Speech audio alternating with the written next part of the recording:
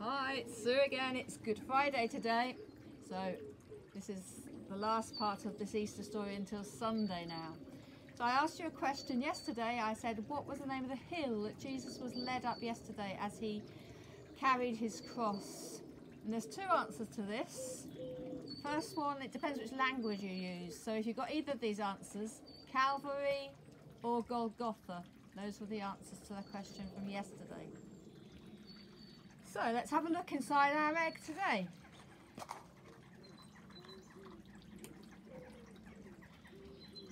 Two nails, which if we put together, make a cross shape. So nails are in our story today, and a cross. So let's start our story.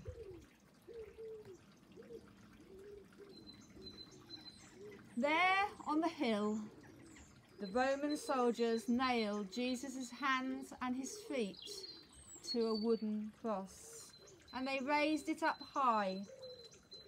Jesus hung there between two thieves. Around 12 o'clock midday, the sky turned black. Jesus' friends wept. The religious leaders laughed. And they said, You saved other people. Why can't you save yourself? When the time came for Jesus to die, he closed his eyes and he said, It is finished. He had completed what he had come to do because of his great love. Now, one of Jesus' followers, Mr. Jefferson, there we are, a man named Joseph of Arimathea had Jesus' body taken down from the cross and put into a tomb.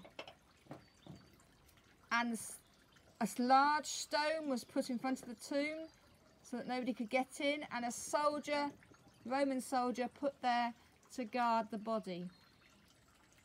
That was the end of a very long, sad day. A long, sad Friday the first Good Friday. Now I don't know why it's called Good Friday. To me it seems as though it should be Bad Friday because lots of bad things happened to Jesus. But it's called Good Friday because of the good news that Jesus died because he loved us so much. We can know him today.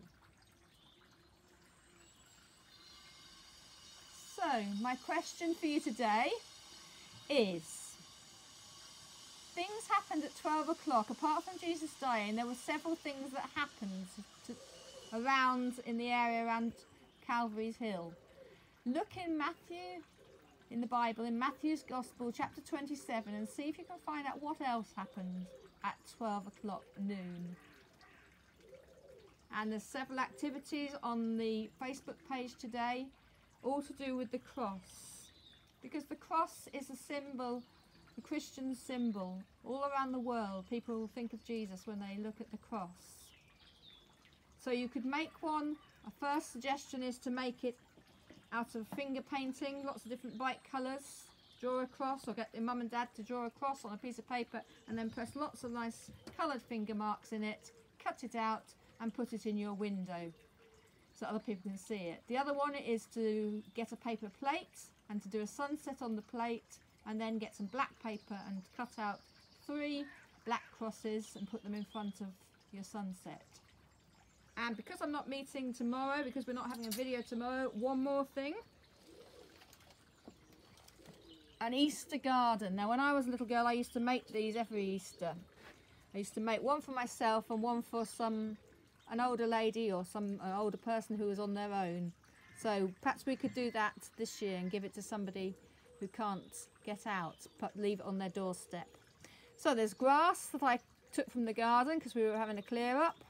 There's a pond here made out of silver foil with some stones around it. Some flowers, you could pick some real ones or you could do some paper ones.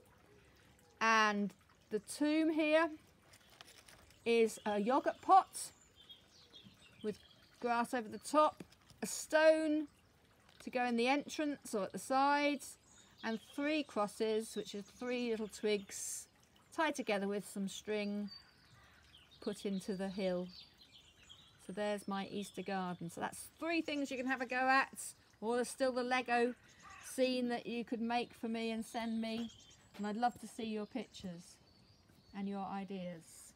So we're just going to close our eyes and finish now with a prayer.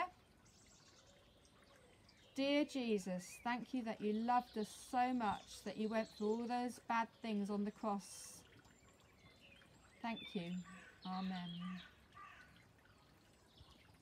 I will see you on Sunday. Have a good weekend. Bye.